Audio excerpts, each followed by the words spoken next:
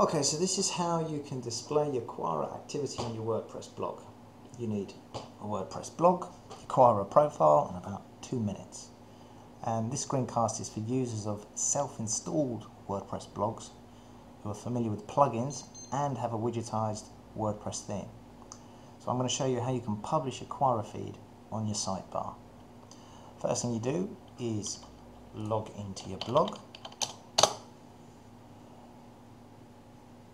Then go to plugins, here on the left, click add new, and here we're going to type advanced RSS search plugins.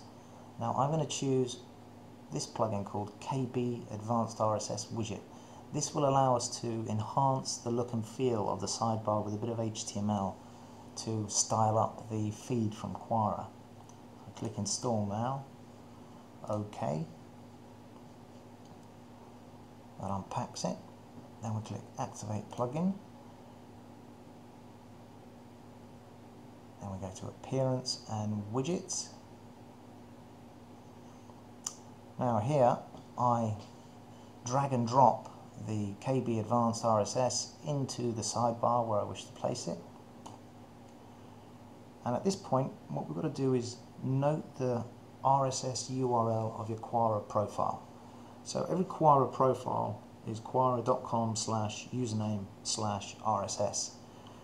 What you've got to do is get your Quora profile and enter it in here, RSS feed URL.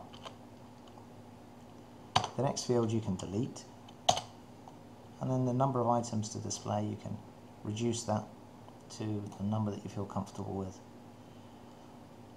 Now the next bit is um, where you can optionally enter some preceding HTML.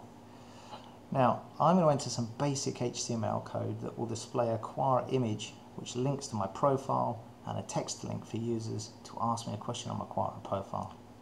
So I've already got this code written and I've got it on my clipboard and I'm going to put it in here. Then I click save and then I go to my blog and here it is. In the right hand side of my blog I've got a, a an image which links to my Quora profile, a text link which links to my about page where people can ask me a question, and then my Quora activity limited to the number of content items that I ticked in the option bar. So there you have it. That's how you can display your Quora content which will self-update on your blog. Thanks for watching.